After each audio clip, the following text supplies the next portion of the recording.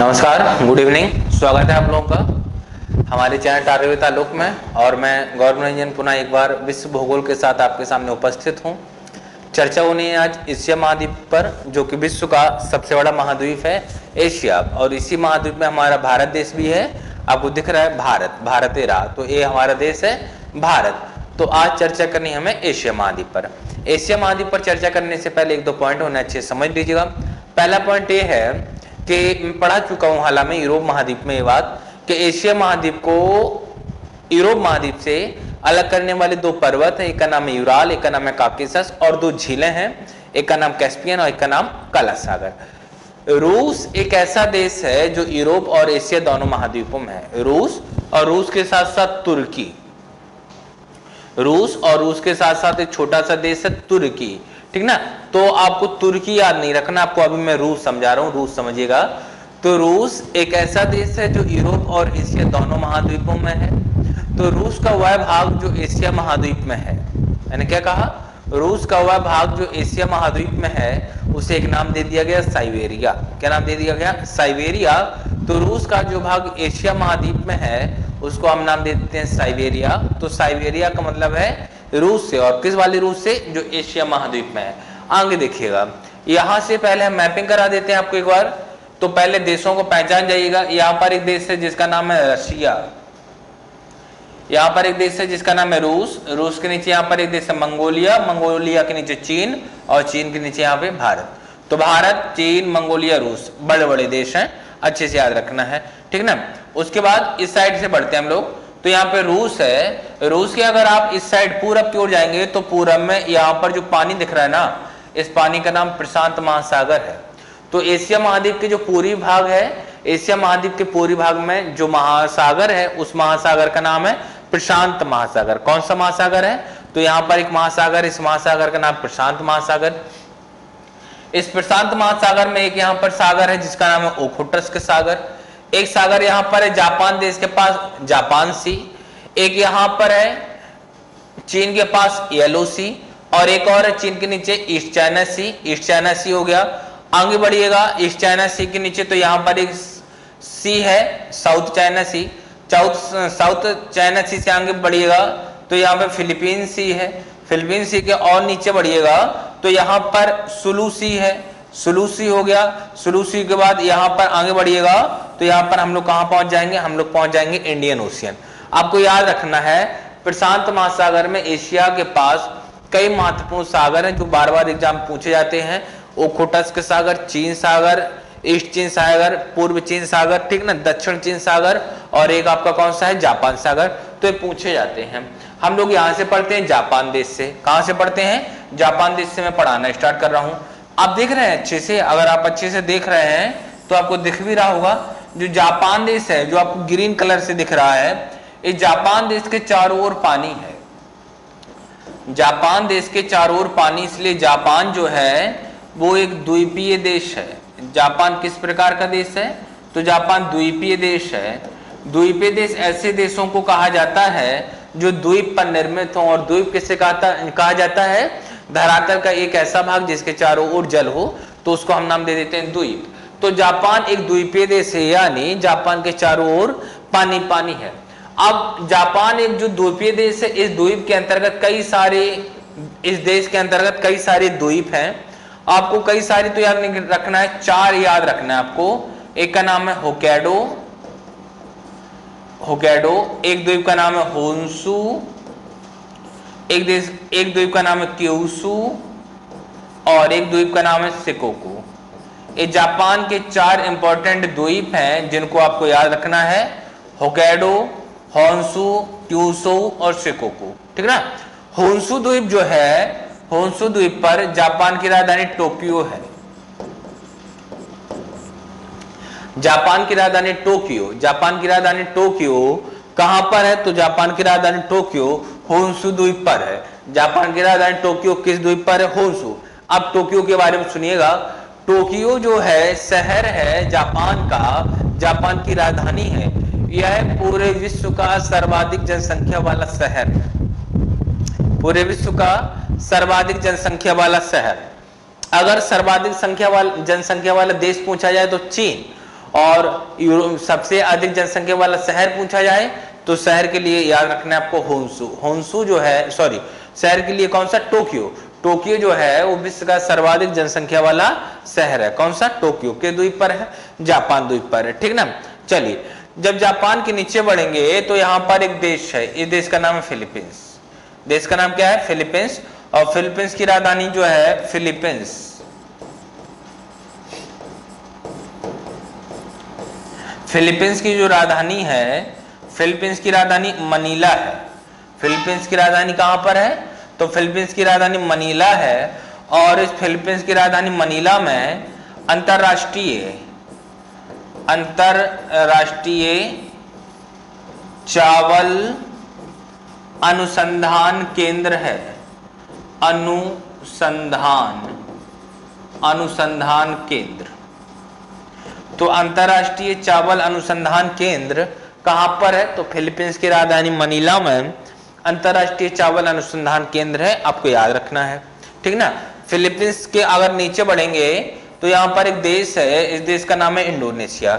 Indonesia देश एक ऐसा देश है, जो एक द्वीपीय देश का उदाहरण मतलब इसके भी चारों ओर पानी है। इंडोनेशिया के चारों ओर भी पानी है। प्रशांत महासागर और हिंद महासागर। यहाँ पर प्रशांत है और यहाँ पे इंडियन ओशियन। प्रशांत और हिंद महासागर की बाउंड्री पर है। इंडोनेशिया अगर मान लीजिएगा आपसे ये क्वेश्चन पूछा जाता है, विश्व का सबसे बड़ा द्वीप का नाम बताइएगा। तो विश्व का जो सबसे बड़ा द्वीप है, उसका नाम है ग्रीनलैंड। विश्व का सबसे बड़ा द्वीप कौन सा है? ग्रीनलैंड। कहाँ पर है? तो उत्तर अमेरिका के पास है, डेनमार्क देश का अधिकार। अब मान लीजिएगा आपसे पूछा जाता है, विश्व का सबसे बड़ा द्वीप समूह कौन सा है? तो विश्व का सबसे बड़ा द्वीप समूह है इंडोनेशिया।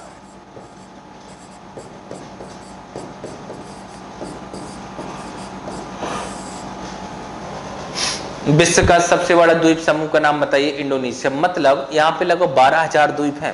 कितना द्वीप है? लगभग बारह हज़ार। मैं ये नहीं कह रहा हूँ कि विश्व का सबसे बड़ा द्वीप है। द्वीप का मतलब एक, और द्वीप समूह का मतलब कई सारे।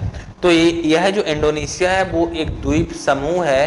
कहने का मतलब है, यहाँ पर एक द्वीप ना होकर कई सारे द्वीप है। बारह हज़ार संख्या है। ये संख्या कम ज़्यादा होती रहती है, आपको संख्या याद नहीं रखनी है। विश्व का सबसे बड़ा द्वीप समूह का नाम बताइएगा। तो विश्व का सबसे बड़ा द्वीप समूह का नाम है इंडोनेशिया। कौन सा है? इंडोनेशिया। इंडोनेशिया की राजधानी जकार्ता है। इंडोनेशिया की राजधानी जकार्ता है। अब सुनो। इंडोनेशिया में सर्वाधिक मुस्लिम आबादी है। विश्व का सर्वाधिक इस्लाम धर्म के लोग विश्व में सर्वाधिक इस्लाम धर्म के लोग विश्व में सर्वाधिक मुस्लिम आबादी वाले देश का नाम बताइए। ऐसा भी क्वेश्चन पूछा जाता है। विश्व की सर्वाधिक मुस्लिम आबादी वाला देश का नाम बताइएगा, इंडोनेशिया। विश्व की सर्वाधिक मुस्लिम आबादी वाले देश का नाम बताइएगा, इंडोनेशिया। एक द्वीपीय देश का उदाहरण है, राजधानी जकार्ता, बारह हज़ार के लगभग द्वीप हैं, प्रशांत और हिंद। यहाँ पर देखिएगा, या तो यहाँ पर प्रशांत और यहाँ पर देखिएगा तो यहाँ पर हिंद है। कई सारे द्वीप है। कई सारे द्वीप हैं, जैसे जावा द्वीप है, सुमात्रा द्वीप है, बोर्नियो द्वीप है तो यहाँ पर कई सारे द्वीप हैं। आपको एक भी याद नहीं रखने हैं। नहीं, इस प्रकार से क्वेश्चन नहीं आता है तो आप इसको रहने दीजिएगा। हाँ इस प्रकार से। अब इंडोनेशिया के ऊपर बढ़ेंगे तो यहाँ पर एक देश है मलेशिया। कौन सा है? मलेशिया। मलेशिया के पास बाजू में एक है सिंगापुर। हमें सिंगापुर, मलेशिया के ऊपर बढ़ना है, यहाँ बढ़ना है। यहाँ पर जहाँ पे मार्क किया हूँ, यहाँ पर कई सारे देश हैं। आपको मैं बताता हूँ। एक देश यहाँ पर है, यहाँ से स्टार्ट कर रहे हैं, बांग्लादेश के बाजू से म्यांमार। भारत का पड़ोसी है। म्यांमार म्यांमार के आगे बढ़िएगा तो यहाँ पर एक देश है जिसका नाम है थाईलैंड। कौन सा है? थाईलैंड। थाईलैंड के आगे बढ़िएगा तो एक देश है बैंकॉक। ठीक ना? बल्कि बैंकॉक दे, थाईलैंड देश है, बैंकॉक तो उसकी राजधानी है। तो म्यांमार है, थाईलैंड है, एक और देश है कम्बोडिया। कौन सा है? कम्बोडिया। तो इन देशों के बारे में भी हम चर्चा कर लेते हैं। ठीक है ना? तो एक देश है आपका म्यांमार म्यांमार के आगे आपका जो है वो थाईलैंड है। थाईलैंड की ओर देखेंगे तो वियतनाम है। यहाँ पर कौन सा है? यहाँ पर वियतनाम है। और वियतनाम के ऊपर देखेंगे तो यहाँ पे लाओस है। और ठीक ना? तो यहाँ पर लाओस है। अब इन देशों के बारे में चर्चा करते हैं। तो सबसे पहले म्यांमार। अब जानते हैं, जो यहाँ पे हिमालय पर्वत है, हिमालय पर्वत का विस्तार म्यांमार तक फैला है। हिमालय पर्वत म्यांमार तक फैला हुआ है। और हिमालय पर्वत को म्यांमार में एक नाम दिया जाता है। हिमालय पर्वत को म्यांमार में क्या नाम दिया जाता है? तो हिमालय पर्वत को म्यांमार में एक नाम दिया जाता है। नाम क्या है? तो म्यांमार देश में म्यांमार। म्यांमार देश में हिमालय पर्वत को एक नाम दिया जाता है और हिमालय पर्वत को नाम दिया जाता है अराकान योमा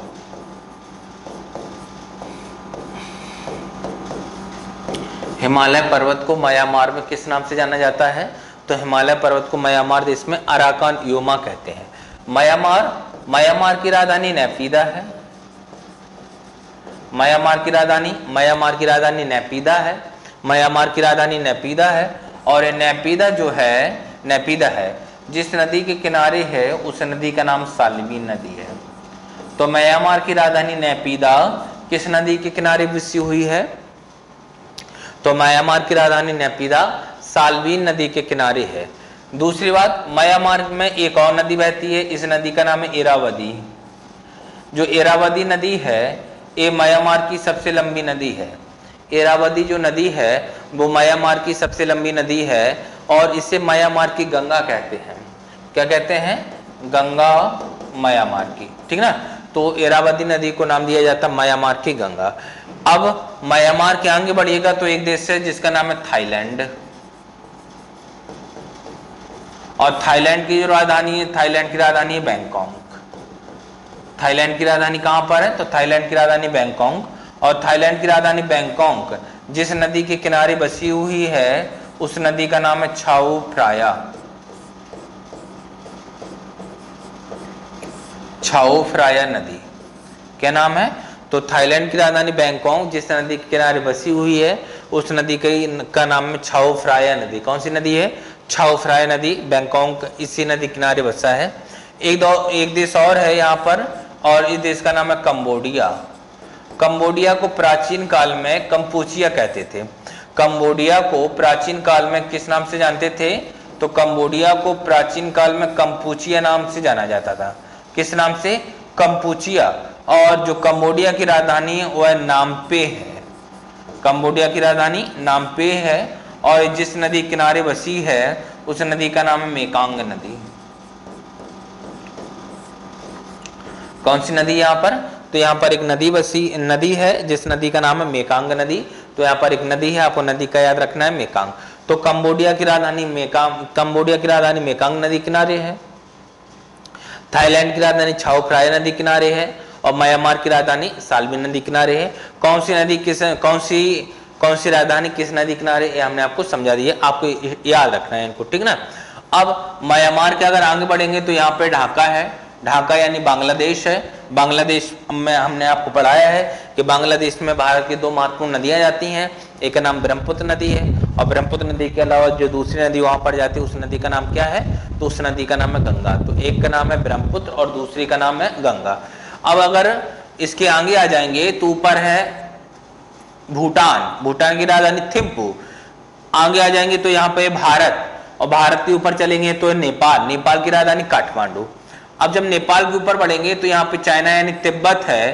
तिब्बत में एक पठार है जिसका नाम है तिब्बत का पठार। तिब्बत में एक पठार है जिसका नाम है तिब्बत का पठार। और यह जो तिब्बत का पठार है विश्व का सबसे ऊँचा पठार है। जो तिब्बत का पठार है, वह विश्व का सबसे ऊँचा पठार है। विश्व का सबसे ऊँचा पठार होने के कारण इसे विश्व की छत कहते हैं वर्ल्ड ऑफ़ द रूफ ठीक है ना या roof of the world roof of the world विश्व की छत इसे कहा जाता है। विश्व की छत कहा जाता है किसको? तिब्बत के पठार को। तिब्बत के पठार को विश्व की छत कहते हैं। और तिब्बती लोग जो हैं, वो इस तिब्बत के पठार को एक और नाम से जानते हैं। तिब्बती लोग तिब्बत के पठार को नाम, किस नाम से जानते हैं? तो पामीर। पामीर का पठार के नाम से भी जाना जाता है तिब्बत के पठार को। चलिए तो यहाँ पे तिब्बत का पठार हो गया। फ़िज़िकल वाला मैप हम आपको पार्ट टू में पढ़ाएँगे। अभी सिर्फ़ पॉलिटिकल वाला बता रहे हैं। यहाँ पर चाइना है और चाइना के ऊपर क्या है? मंगोलिया। आप देख रहे हैं, यहाँ पर चाइना और यहाँ पर कौन सा रूस? रूस और चीन के मध्य से होते हुए एक नदी बहती है। एक नदी है जो रूस और चीन के मध्य से होकर बहती है विश्व की दो महाशक्तियाँ एक का नाम रूस और दूसरे का नाम क्या है? एक का नाम रूस तो दूसरे का नाम चीन। तो रूस और चीन की सीमा से होते हुए एक नदी बहती है। रूस और चीन की सीमा से होते हुए जो नदी बहती है, उस नदी का नाम है अमूर नदी। नदी का नाम क्या है? तो इस नदी का नाम है अमूर नदी, जो रूस और चीन की सीमा बनाती है। कई बार क्वेश्चन पूछा जाता है कि रूस और चीन की सीमा बनाने वाली नदी का नाम बताइए। तो रूस और चीन की सीमा बनाने वाली नदी का नाम है आपकी अमूर नदी, ठीक ना? अमूर नदी। यहीं पर रूस में आप देख रहे हैं यहाँ पर, रूस में यहाँ पर एक झील है और रूस में जो झील है, इस झील का नाम बैकाल है। रूस में एक झील है जिसका नाम बैकाल झील है और यह बैकाल झील विश्व की सबसे गहरी झील है। विश्व की सबसे गहरी झील।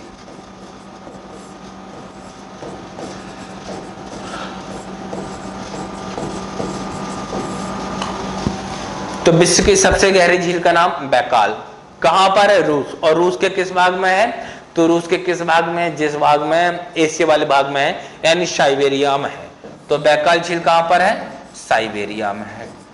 इससे परलॉब इसलिए साइबेरिया में है। इसका एक नाम और है, बैकाल झील का। साइबेरिया में होने के कारण पर्ल ऑफ़ साइबेरिया कहते हैं। Pearl of Siberia. किस नाम से जाना जाता है? तो इसको नाम दिया जाता है पर्ल ऑफ़ साइबेरिया। तो पर्ल ऑफ़ साइबेरिया के नाम से किससे जाना जाता है? तो पर्ल ऑफ़ साइबेरिया के नाम से जाना जाता है आपका बैकाल झील को। तो बैकाल झील को पर्ल ऑफ़ साइबेरिया कहते हैं यह रूस में है और रूस के किस भाग में है? तो एशिया वाले भाग में है। चलिए, आगे देखते हैं।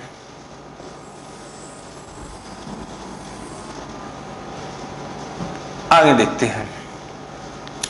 अब इस साइड आ जाते हैं। तो यहाँ पर एक देश है जिसका नाम है कजाकिस्तान। कजाकिस्तान देश। और कजाकिस्तान देश में एक झील है। कौन सा देश है? कजाकिस्तान। एक झील है जिसका नाम है बालकस झील।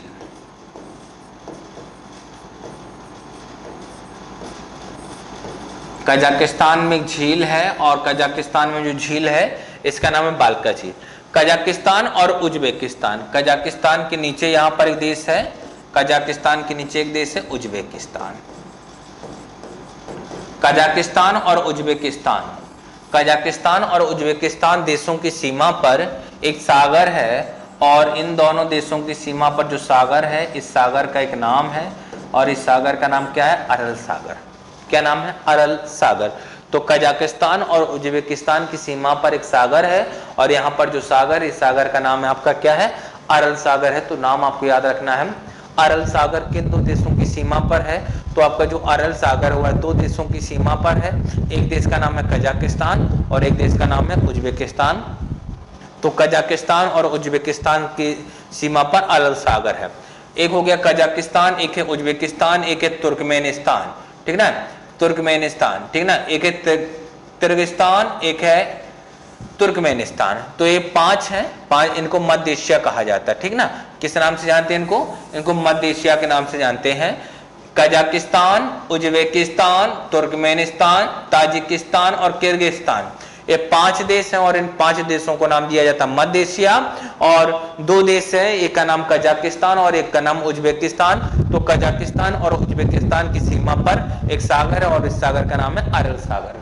आगे देखिएगा, यहाँ पर एक सागर है और इस सागर का नाम क्या है? इस सागर का नाम है कैस्पियन सागर। क्या क्या नाम है? तो यहाँ पर एक सागर, इस सागर का नाम है कैस्पियन सागर। कैस्पियन सागर के अगर नीचे उतरेंगे तो यहाँ पर ईरान है। कौन सा है? ईरान। और ईरान की राजधानी तो ईरान की राजधानी तेहरान। ईरान के बाजू में एक और देश है यहाँ पर, इस देश का नाम है बगदाद। ठीक ना? तो एक देश है ईरान और एक देश है बगदाद सॉरी ईरान और एक देश है इराक। तो ईरान और इराक। ईरान और इराक से होते हुए दो नदियाँ बहती हैं। एक नदी का नाम है यूफ्रेटस और एक नदी का नाम यूफ्रेटस और एक नदी का नाम है टिग्रिस। यूफ्रेटस और टिग्रिस। एक नदी का नाम है यूफ्रेटस और एक का नाम है टिग्रिस। इन्हीं को प्राचीन काल में नाम दिया जाता था दजला एवं फरात। इन्हीं नदियों को प्राचीन काल में किस नाम से जाना जाता था? तो दजला और फरात के नाम से जाना जाता था। इन नदियों के बीच के क्षेत्र में ही विश्व की प्राचीन सभ्यताओं में से एक, विश्व की प्राचीन सभ्यताओं में से एक मेसोपोटामिया विश्व की प्राचीन सभ्यताओं में से एक मेसोपोटामिया की सभ्यता विकसित हुई। ठीक ना? दो नदियाँ हैं, एक का नाम है यूफ्रेटस, एक का नाम टगरिस, यानी दजला और फरात। इन इन नदियों के बीच के क्षेत्र में विश्व की प्राचीन सभ्यताओं में से एक मेसोपोटामिया की सभ्यता विकसित हुई। कहाँ पर है? ईरान और इराक देश में बहती है। कहाँ पर बहती है? ईरान और इराक। जो ईरान देश है, ईरान देश में दो महत्वपूर्ण मरुस्थल हैं। एक मरुस्थल का नाम है दस्त ए काबिर। दस्त ए काबिर ईरान में है। दस्त ए काबिर मरुस्थल और ईरान में एक और मरुस्थल है जिसका नाम है दस्त ए लुट। तो ईरान देश में दो महत्वपूर्ण मरुस्थल है। एक का नाम है दस्ते दस्ते काबिर और एक का नाम क्या है? तो एक का नाम है दस्ते लोट। दो दस्ते काबिर और दस्ते लोट। कहाँ के मरुस्थल हैं? ईरान के मरुस्थल हैं, आपको याद रखना है, ठीक ना? अब देखिएगा, ईरान के अगर आगे बढ़ेंगे तो यहाँ पर परसिया की खाड़ी है। कौन सी खाड़ी है? परसिया। यहाँ पे अदन की खाड़ी है और यहाँ पे लाल सागर है। तो लाल सागर, अदन की खाड़ी और यहाँ पर ओमान की खाड़ी या पारस की खाड़ी, एक ही बात है। तो बीच वाला जो क्षेत्र बच गया, ए वाला ए वाला जो क्षेत्र है जिसको मैंने अंडलान किया है, ठीक ना? इस वाले क्षेत्र को एक नाम दिया गया, इसके तीन और पानी है, इसलिए इस वाले क्षेत्र को एक नाम दे दिया गया प्रायद्वीप, और इस प्रायद्वीप का जो नाम, इस प्रायद्वीप का नाम है अरब प्रायद्वीप। इस प्रायद्वीप का नाम क्या है? तो इस प्रायद्वीप का नाम है अरब प्रायद्वीप, विश्व का सबसे बड़ा प्रायद्वीप। विश्व का सबसे बड़ा प्रायद्वीप कौन सा है? तो अरब प्रायद्वीप है, जिसके एक और लाल सागर है, एक लोग पर्सिया की खाड़ी है फारस की खाड़ी है, और एक और क्या है? अदन की खाड़ी है, अदन अदन की खाड़ी है। तो इसके तीन और जल है, तीन और जल होने के कारण इसको नाम दे दिया प्रायद्वीप, और विश्व का सबसे बड़ा प्रायद्वीप है। प्रायद्वीप का नाम क्या है? तो प्रायद्वीप का नाम है अरब प्रायद्वीप। विश्व का सबसे बड़ा प्रायद्वीप, अरब प्रायद्वीप। ठीक ना? विश्व का सबसे बड़ा प्रायद्वीप तो अरब प्रायद्वीप। आगे देखिएगा आगे देखिएगा। जो अरब प्रायद्वीप है, अरब प्रायद्वीप का जो सबसे बड़ा देश है, उसका नाम है सऊदी अरब। अरब प्रायद्वीप का जो सबसे बड़ा देश है, उसका नाम है सऊदी अरब। तो यहाँ पर एक देश हो जाता है अरब प्रायद्वीप में, और इस देश का नाम है सऊदी अरब। अरब का जो सबसे बड़ा देश है, अरब प्रायद्वीप का, उसका नाम सऊदी अरब। और सऊदी अरब की राजधानी क्या है तो कई बार पूछी गई है, रियाद। रियाद। सऊदी अरब की राजधानी रियाद। सऊदी अरब में एक मरुस्थल है, जिसका नाम क्या है, रूब अल खाली। रूब अल खाली। तो सऊदी अरब में एक मरुस्थल है और सऊदी अरब में जो मरुस्थल है, उस मरुस्थल का नाम है रूब अल खाली। कहाँ पर? सऊदी अरब में है, अरब प्रायद्वीप पर सऊदी अरब में अरब प्रायद्वीप पर एक मरुस्थल है जिसका नाम है रूबल खाली। सऊदी अरब के नीचे देखिएगा तो यहाँ पर एक देश है जिसका नाम है यमन। ठीक ना? यमन है और यहाँ पर एक देश है जिसका नाम है ओमान। ओमान की जब ऊपर बढ़ेंगे तो यहाँ पर एक देश है ओमान के ऊपर जिसका नाम है यूएई अरब प्रायद्वीप पर ही है। यूएई संयुक्त अरब अमीरात